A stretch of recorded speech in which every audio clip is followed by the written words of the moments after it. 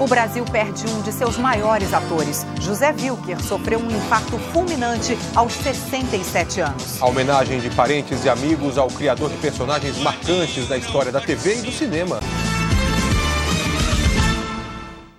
Boa noite. Boa noite.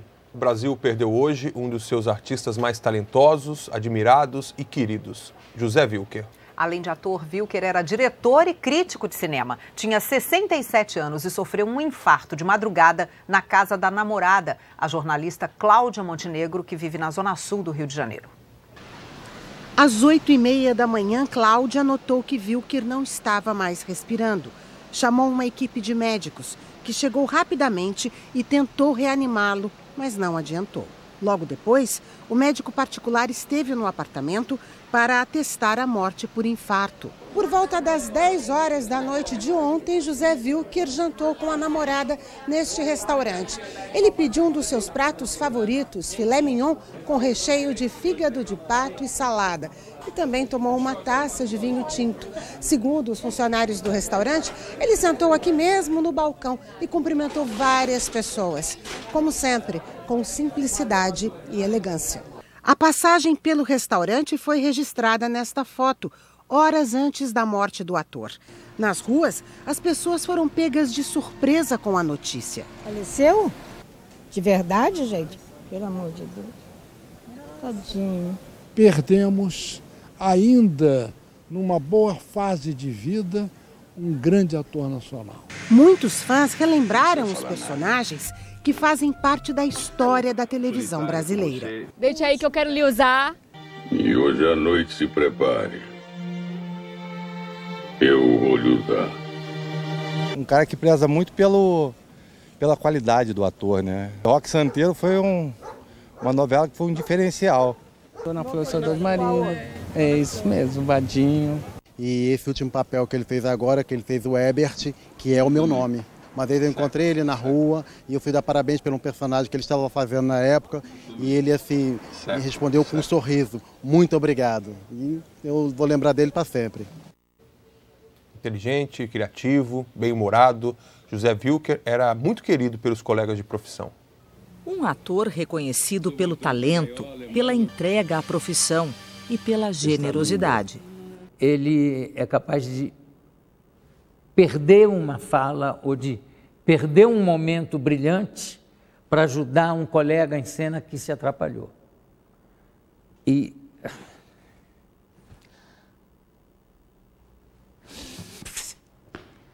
isso é um pouco o, o, o retrato do, do Wilker, desde que eu conheço. E eu lembrando do Zé, do Zé, é, desculpe, companheiro,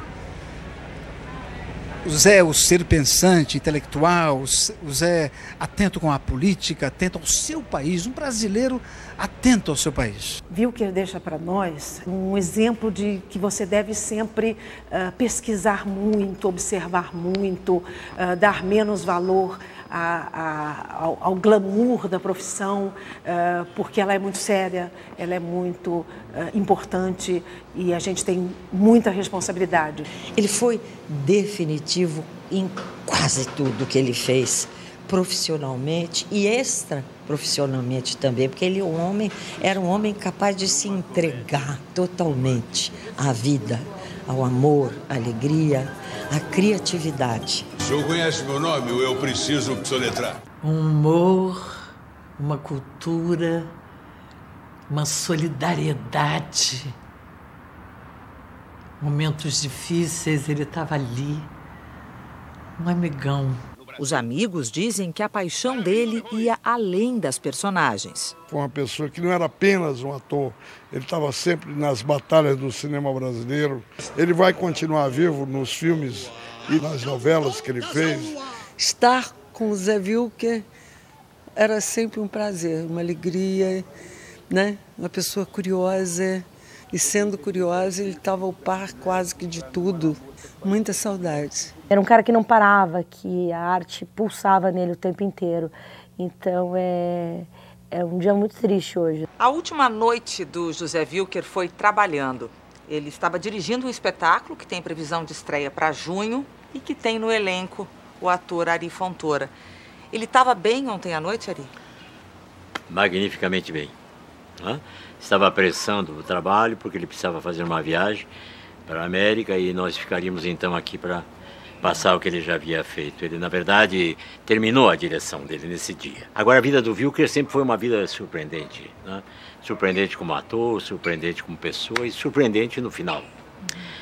Agora não precisava ser assim, porque realmente foi um baque. Não estávamos preparados para perder esse talento, nenhum de nós. Nem os seus pares, os seus colegas, nem o público. Com Lima Duarte dividiu cenas inesquecíveis. Ele abre um buraco no meu coração, na minha vida. Um grande buraco, difícil de ser preenchido. Mas resta-me saber que sobre a argila há de sobrar sempre aquele humor, aquele glamour, aquela graça que vocês podem constatar vendo em todas as cenas que eu fiz com ele. Eu vim aqui para me redimir, para compensar os meus erros.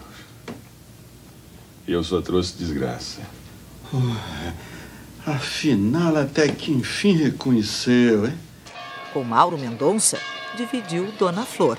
Sempre firme no papel e era muito divertido na, na, no Dona Flor. Eu tive episódios realmente muito engraçados com ele. Ele partiu, mas deixou, deixou a amizade, a lembrança dos amigos e a sua obra. Né? Gerações mais tarde vão poder saber quem foi o Zé Vilca, isso é muito bom. Um ator para todos os autores. Valcir Carrasco assinou o último trabalho de Vilker na TV. Eu pensava nele para minha próxima novela, entendeu? E aí, de repente, eu não vou ter. Dói, dói, e dói porque era uma pessoa especial. Um homem que buscava sempre o conhecimento, buscava sempre o saber, buscava sempre a melhora. Onde quer que você esteja, Vilke, o meu beijo, meu coração, o meu afago e a minha lembrança. Vá com Deus. A atriz Sônia Braga, que atuou com José Wilker no filme Dona Flor e seus dois maridos, está no Panamá. Ela postou nas redes sociais uma mensagem de solidariedade para a família do ator. Disse que José Wilker sempre foi e continuará sendo um dos seus melhores e mais queridos amigos. José Wilker interpretou papéis marcantes na televisão, no teatro e no cinema. Eu nasci no dia 20 de agosto de 1946, em Juazeiro do Norte, no Ceará. Ele queria ser locutor de rádio. Fez o teste numa emissora do Recife, não passou. Muito infantil a voz do menino de 13 anos. Mas a vaga para o teleteatro da mesma emissora, José Wilker ganhou na hora. No sertão nordestino, dirigiu vários espetáculos, mas ele queria mais. Eu imaginava uma forma de sair de casa, de, de, de, eu queria ser independente. Com 21 anos, veio para o Rio. Entrou na universidade para fazer sociologia, mas os palcos o obrigaram a deixar a faculdade. E logo entrou para a TV. Na novela Bandeira 2, Wilker descobriu o que é o sucesso. Sumam da minha frente! Eu não tinha conta em banco, eu não tinha identidade, eu não tinha residência fixa, eu não tinha nada. E uma semana depois de estar no ar numa novela, eu era um cara com uma conta no banco, uma identidade, uma residência fixa e um reconhecimento público. E o reconhecimento do público e da crítica não parou mais. Interpretou o Mundinho Falcão, de Gabriela, um marco na teledramaturgia brasileira. Aliás, eu tinha esquecido de apresentar ao violão fabuloso Carlinhos. Em 2012, volta a fazer Gabriela com o coronel Jesuíno Mendonça. Para casa, eu tô com saudade. Fenomenal, fenomenal. Os bordões Nós que ele criava vamos viraram fazer sucesso, história. como os de Giovanni Prota na novela Senhora do Destino. Toca pra frente, que o tempo ruge e a Sapucaí é grande. Minha carreira não é uma sucessão de escolhas a partir de um projeto de vida com teatro, com cinema ou televisão. É uma sucessão de acasos. Eu acabei em Rock Santeiro por acaso. Wilker viveu um personagem que deu nome à novela. O Jaimil Monjardim entrou na sala e estamos com um problema, cara. A gente tem o senhorzinho Malta, a gente tem a viúva porcina, a gente tem quase o elenco pronto, mas não temos o rock santeiro. Aí me olhou. Quer fazer? Não me escondo sei que és minha dona. José Wilker tinha um carinho todo especial pela televisão. Escreveu, dirigiu, atuou em inúmeras produções. Só nas novelas participou de 30. A última gravação dele aqui no Projac foi em Amor à Vida, interpretando o Dr. Herbert, um médico cheio de dúvidas amorosas. Bom, eu acho que eu não tenho mais nada para fazer aqui. Com licença. E quantas minisséries vão ficar na memória?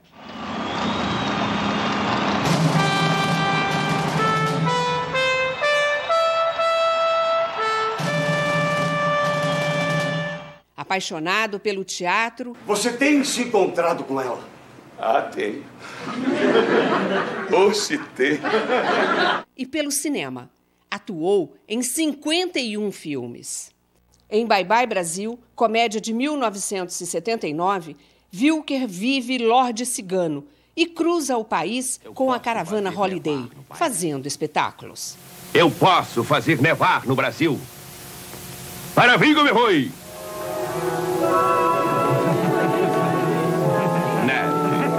Mas a cena que marcou época foi esta. Em Dona Flor e seus dois maridos, Vadinho, personagem de José Wilker, volta ao mundo dos mortos para viver um triângulo amoroso.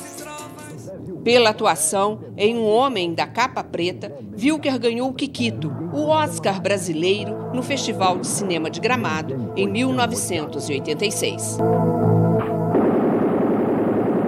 Wilker amava o cinema, era um crítico rigoroso, participava das transmissões do Oscar na TV Globo. Eu gosto desse tipo de cinema assim, um cinema que de repente, ao mesmo tempo que te acaricia, te inquieta. Este é o trecho de um documentário sobre Ayrton Senna, dublado por Wilker. Vai ao ar a partir de amanhã no Esporte Espetacular. Em homenagem, a voz do ator será mantida no novo trabalho. Em cada curva, ele parava e se curvava. Eu vou te dizer, foi eletrizante, absolutamente eletrizante. E nós voltamos a falar sobre a morte de José Wilker. O corpo dele vai ser velado durante toda a madrugada. O repórter André Curvelo está no Teatro Ipanema, na zona sul do Rio, onde os fãs vão poder dar, fazer a sua última despedida. André, por favor, suas informações. Oi, Evaristo. Boa noite, boa noite a todos. O Teatro Ipanema vai se preparando para a despedida de José Wilker aqui. Ele participou de grandes sucessos de público, de crítica, como as peças O Arquiteto e o Imperador da Assíria e A China é Azul, que fizeram desse teatro a casa dele. Nos palcos, nas telas, nas telonas, José Wilker fez muita gente rir, chorar, se emocionar. O velório deve começar por volta das 11 horas da noite, será aberto ao público, vai avançar pela madrugada até amanhã de manhã e na tarde desse domingo, o corpo de Wilker será levado para uma cerimônia de cremação, só para família e amigos. Carla Evaristo. Obrigada, André Curvelo. E o Jornal Nacional termina aqui com uma homenagem ao ator José Wilker. E na segunda-feira, a Globo exibe na tela quente o filme Giovanni Improta, depois da novela Em Família.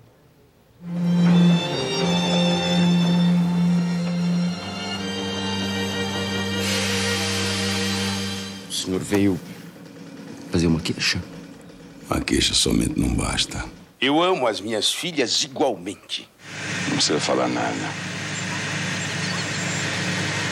Eu sempre soube que vocês foram feitos um pro outro. Não é amor, é dinheiro.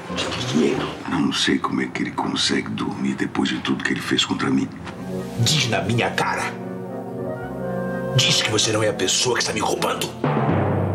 Como é que eu vou fazer para te encontrar? Bom, a menos que isso seja uma desculpa para não me ver mais. Mas isso é mentira, Francesca. Tá louca?